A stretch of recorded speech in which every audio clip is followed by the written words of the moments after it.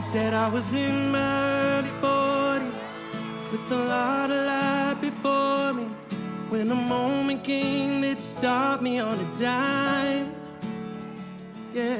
He can sing. I asked him when it's sinking that this might really be the real end. How's it hit you when you get that kind of news? Man, what you do? And he said, I went skydiving,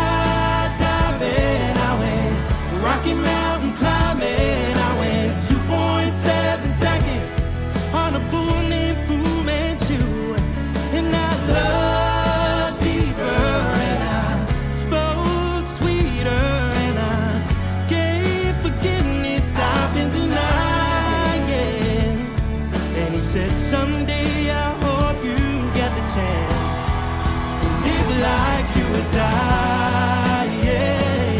Like tomorrow was a gift, and you got eternity to think about what you do with it.